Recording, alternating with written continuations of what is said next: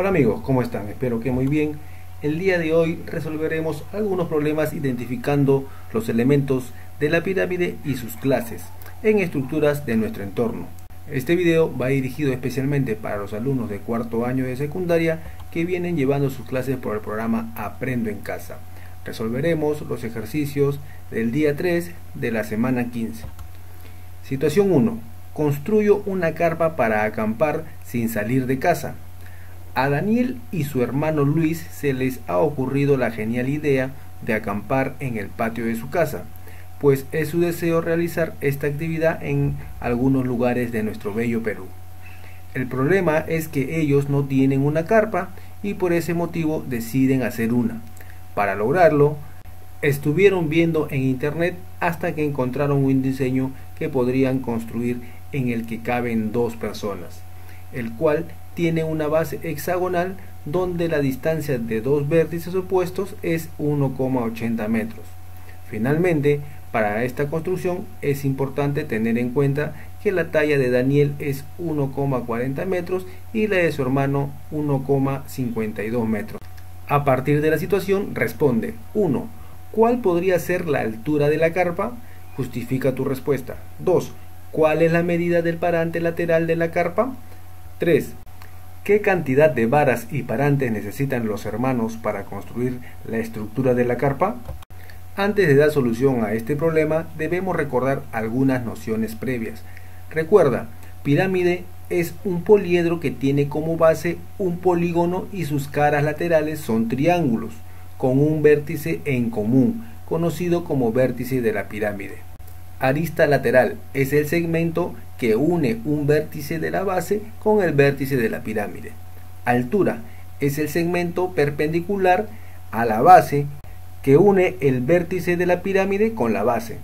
Apotema de la pirámide es un segmento perpendicular a la arista de la base que une al vértice de la pirámide con el punto medio de dicha arista. Si la pirámide es regular. Apotema de la base es el segmento que une el centro de la base y el punto medio de cualquier lado del polígono. Seguimos recordando algunas nociones previas. Recuerda, pirámide regular, su base es un polígono regular y a su vez es una pirámide recta. Las caras laterales son triángulos isósceles iguales entre sí. Pirámide irregular, su base es un polígono irregular Pirámide recta. Todas sus caras laterales son triángulos isósceles.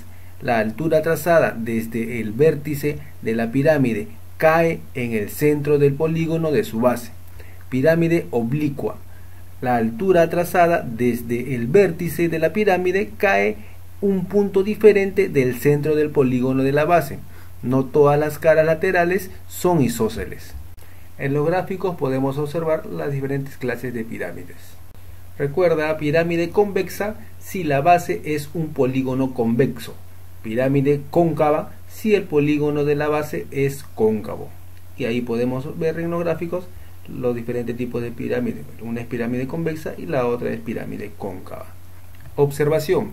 Decimos que la pirámide es convexa si la base es un polígono convexo, es decir, aquel en el que la medida de sus ángulos internos son menores a 180 grados y la pirámide es cóncava si el polígono de la base es cóncavo, es decir, aquella que tiene uno o más ángulos internos que miden más de 180 grados. Ahora veremos la clasificación de las pirámides según el número de lados de su base. Según el número de lados de su base se clasifican en pirámide triangular, la base es un triángulo, tres lados. Pirámide cuadrangular, la base es un cuadrilátero, cuatro lados. Pirámide pentagonal, la base es un pentágono, cinco lados. Pirámide hexagonal, la base es un hexágono, seis lados. Pirámide heptagonal, la base es un heptágono, siete lados. Pirámide octogonal, la base es un octógono, ocho lados. Y ahí vemos la representación gráfica de la pirámide triangular, cuadrangular, pentagonal y hexagonal. Ahora vamos a hacer un pequeño paréntesis para enviar saludos a todos mis amigos que se suscribieron, comentaron, me dieron like, activaron la campanita y compartieron mis videos para que todos sus amigos puedan ver y resolver las tareas que dejan en el programa Aprende en Casa. Saludos para mi amigo Rudy Escoque. Saludos para mi amigo que tiene su cuenta El Extraterrestre. Saludos para mi amiga Stephanie. Saludos para mi amiga Celeste Palma. Y saludos para mi amigo que tiene su cuenta LF Games IT. Recomiendo a mis amigos que tienen cuentas con otros nombres que en sus comentarios me dejen su nombre para poder enviarle saludo a su nombre, valga la redundancia.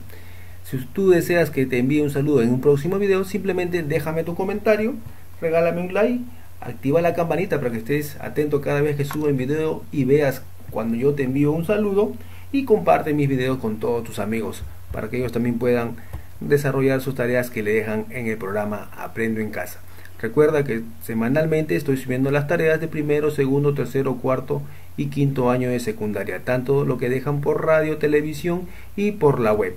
Muy bien amigos, ahora sí, continuemos dando solución a este problema. Ahora ejecutamos la estrategia o plan. Modelo la carpa mediante una forma geométrica. La carpa que deseo construir, según el número de lados de su base, es una pirámide hexagonal Además es una pirámide regular, recta y convexa. Dibujo la base de la carpa. Según los datos de la situación, la medida de la diagonal del hexágono de la base es 1,80 metros. Puedo asignar otra medida diferente a 1,80 metros siempre que cumpla con las características y condiciones de la situación y podemos apreciar el gráfico. Ahora represento las medidas de la base y altura, así como la ubicación de los hermanos. Recuerda, la medida de la recta trazada en la base de la pirámide es 1,80 metros, como vemos en el gráfico. Respuesta a la primera pregunta. La carpa debe tener al menos una altura que permita ingresar de rodillas. Sugiero una altura de 1,20 metros dado que es menor a 1,52 metros y 1,40 metros que son las tallas de los hermanos, como podemos apreciar en este gráfico. Sigamos respondiendo el problema. Hallo la distancia entre el centro de la base y un vértice del polígono. Si tomo una distancia entre dos vértices opuestos del polígono de 1,80 metros, la distancia entre el centro de la base y un vértice del polígono es la mitad. Por lo tanto, la distancia del centro de la base al vértice es 0,90 metros. Calculo la medida de la arista lateral usando teorema de Pitágoras. ¿Cuál es el teorema de Pitágoras? Que la hipotenusa al cuadrado es igual a la suma de los dos catetos al cuadrado, ¿verdad? Entonces simplemente colocamos los datos, ponemos que L al cuadrado que viene a ser la hipotenusa igual a 0,9 al cuadrado, que hemos hallado ese dato recientemente, más 1,2 metros al cuadrado, que es la altura de la carpa. Despejamos L y nos sale que L, quiere decir la, hipotenusa, es igual a 1,50 metros. Entonces la medida de la arista lateral es de 1,50 metros. Respuesta a la segunda pregunta.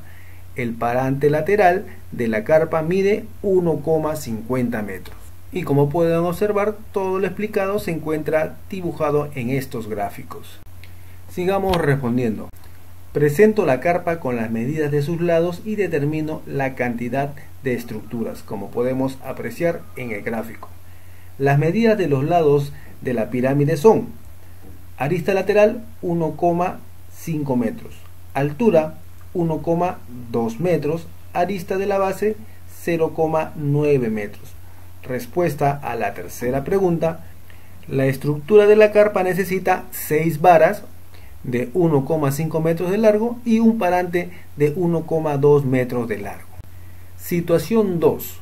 Si quisiera que entren tres personas en la carpa y la distancia entre los dos vértices opuestos del hexágono ya no es 1,80 metros sino 2,40 metros y la altura ya no sería 1,20 metros sino 1,60 metros. Cuál sería la longitud de las varas laterales y del parante que tendrían que conseguir Daniel y Luis calculo la medida de la arista lateral empleando el teorema de Pitágoras.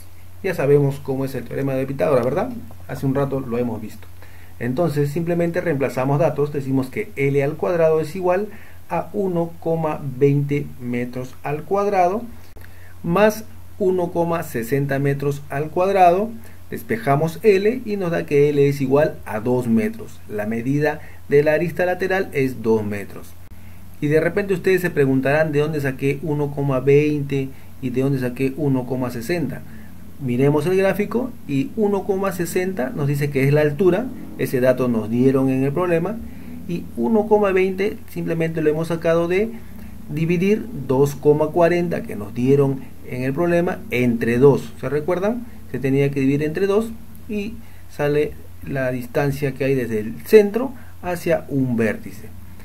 Entonces simplemente decimos que si la medida de la arista lateral tiene una longitud de 2 metros, entonces tendría que conseguir 6 varas de 2 metros cada una y un parante de 1,60 metros.